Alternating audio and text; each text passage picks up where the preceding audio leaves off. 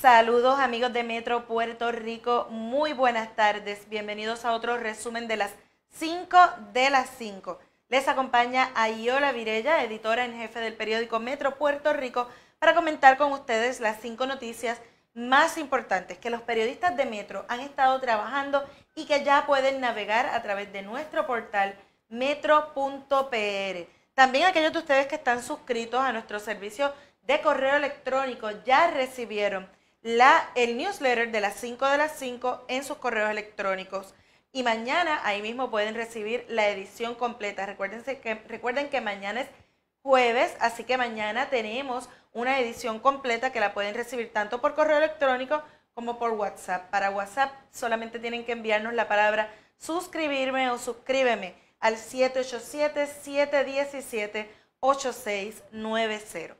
Pasemos de inmediato con las informaciones. La primera noticia en la tarde de hoy se está a la espera de que la gobernadora Wanda Vázquez anuncie su determinación sobre la carta que le envió la secretaria de Justicia Wandimar Burgos, poniendo a su disposición el cargo, esto ante los reclamos de los presidentes legislativos por la intervención de la funcionaria para detener el envío de unos referidos al FEI que incluían a la propia gobernadora Wanda Vázquez.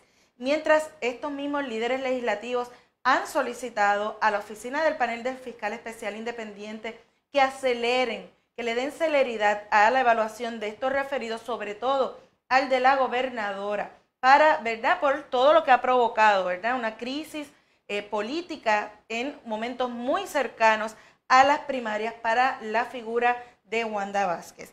Y precisamente la segunda noticia tiene que ver con esa crisis y es que en estos momentos se desarrolla una manifestación frente a la fortaleza para reclamar la renuncia de la gobernadora. Sin embargo, esta manifestación no ha sido tan concurrida como lo que vimos en el verano del 2019.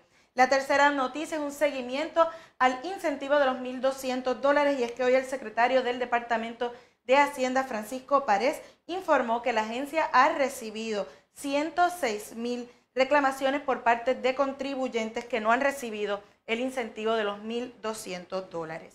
La cuarta noticia, el representante independentista Denis Márquez anunció que radicó un informe de la minoría sobre la investigación de las pruebas de las, de las compras de las pruebas de COVID 19 en el que planteó un sistema, ¿verdad? Un problema sistemático de clientelismo político en el gobierno de Puerto Rico.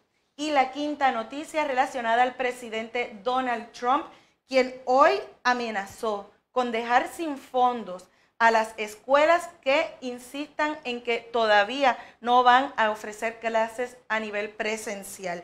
De hecho, también fustigó a funcionarios de su propio gabinete que han emitido reglas sobre cómo debe ser el regreso a las escuelas por plantear, plantear él que según ¿verdad? a su juicio son excesivas. Esas serían las cinco noticias que tenemos para ustedes en la tarde de hoy. Yo regreso con ustedes mañana muy temprano en otro resumen de las cinco noticias a través de este Facebook Live. Será hasta entonces. Chao.